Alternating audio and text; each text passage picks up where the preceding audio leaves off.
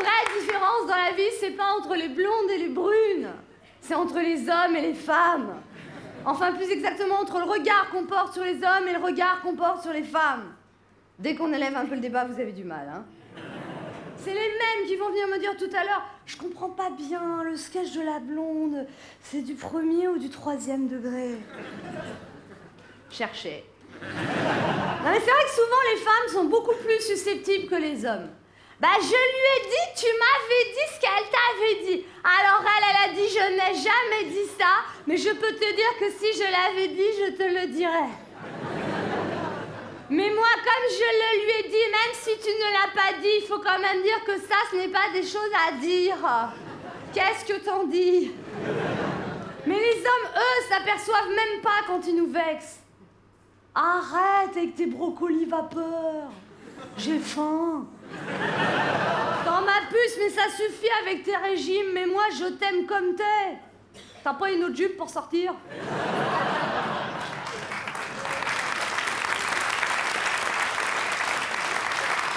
mais il y a des petites différences entre les hommes et les femmes. Par exemple, une femme enrobée, elle se laisse aller. Un homme qui a du ventre, c'est un bon vivant. Il y a des petites différences. Une femme qui aime le bon vin, elle boit. Un homme qui a bu, il a pissé dans le lavabo, on a rigolé.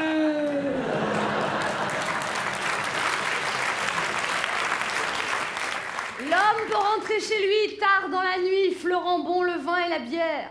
Attends, où j'étais, où j'étais, j'étais avec des copains, je me suis détendue. Imaginez que nous on rentre à 3h du matin en disant J'étais avec des copains, je me suis détendue. Il y a des petites différences. La femme veut toujours changer l'homme. L'homme veut toujours changer de femme.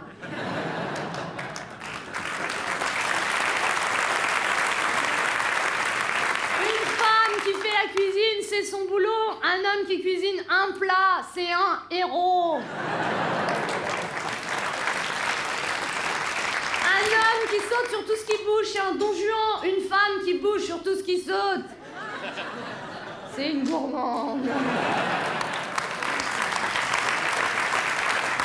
C'est pour ça que concernant les choses du sexe, les femmes sont beaucoup plus discrètes. Par exemple, une femme dira Il est beau, j'aimerais qu'il m'invite à dîner. L'homme dira Elle est bonne, j'aimerais la tirer.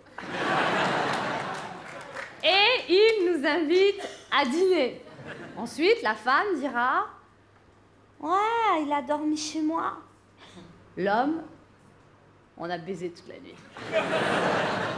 La femme, bah lui si tu veux, c'est un peu le fast-food, beaucoup d'attentes, servi tout ramolli, t'as encore faim après.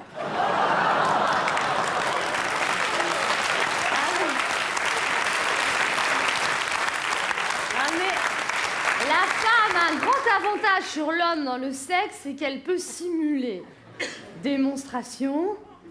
Ah. Ah. Ou plus sobrement. Je suis sûre qu'il y a des hommes qui pensent euh, Attends, euh, simuler avec moi Chez moi, c'est la Ligue des Champions tous les soirs. Prolongation et tir au but. Mais toutes les femmes en ont rajouté au moins une fois dans leur vie. On leur montre attendez, c'est pas parce qu'il y a un petit peu de monde que ça doit vous gêner.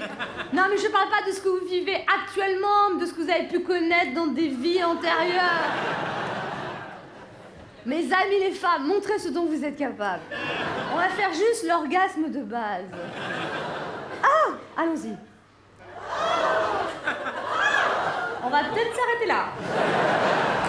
Coït interrompu. Celui qui est sorti trois secondes, il rentre et dit j'ai raté quelque chose. C'est vrai que les hommes, en général, font moins de bruit. Les hommes font plutôt... Et après...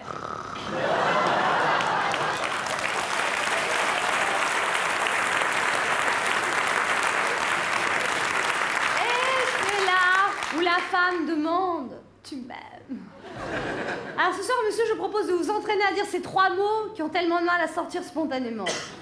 Je t'aime.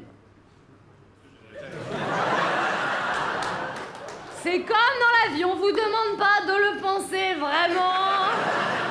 On vous demande de nous le dire souvent. On va essayer de le faire avec de la sensualité, avec du feeling. Chuchoter, par exemple. Mes amis les hommes, montrez ce dont vous êtes capables. Et maintenant, mesdames, le petit son que nous avons étudié tout à l'heure.